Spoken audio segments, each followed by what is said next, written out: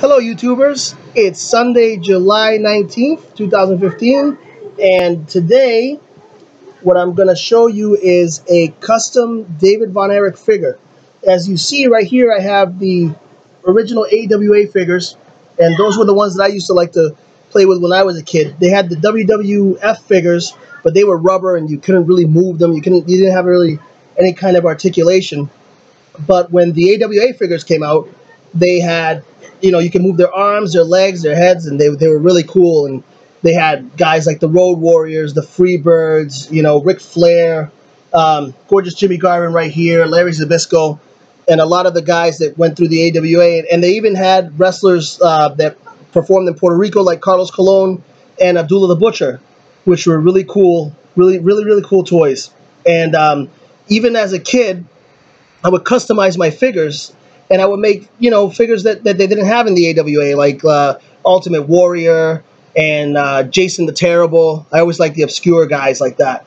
But uh, what I have here is a custom Remco AWA David Von Erich, and he's got the claw hand, and I even went as far as giving the detail to the boots. He has the yellow star on the side of his boots, and right now he's on eBay um, he's got about four days left, so if anybody's interested, you could uh, you're you're more than welcome to check him out on eBay. Just go to uh, custom Remco AWA figures or just Remco AWA figures. You could uh, you could see him on there. But um, the I, when I make a figure, I try to make it so that you know when it's time to put them up on eBay, I don't want to get rid of them. You know, so as you can see, you can put them up with the other figures, and you oh there goes uh, Michael Hayes, but that's okay because Michael Hayes was one of his enemies anyway, so down he goes.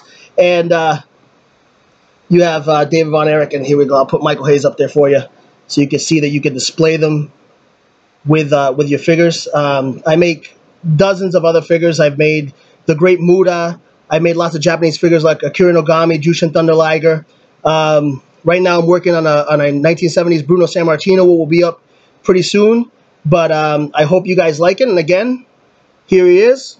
He's custom Remco AWA David Von Erich from probably one of the most famous wrestling families of all time.